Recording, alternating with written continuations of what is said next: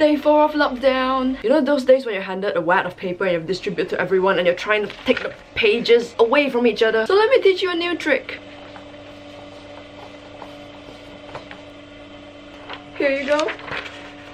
Here you go again. Because it's a fan. So how, do you ask me, how do you make something as good as this? Step 1, get a whole wad of paper. Step 2, put your hand below here in the middle. So your hand is supposed to be in this shape. Imagine you're holding a glass and you'll be like, ah, tea. Once you have this hand in the middle, this hand, pat, put it like that. So one hand is like a cup down there, one hand is flat on top. Now I want you to do a motion with this hand. So like a wave. Woo! Starts from the pinky.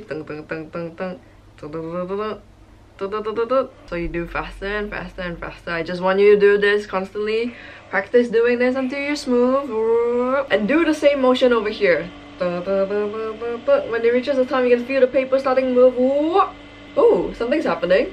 Do it again. Something's happening.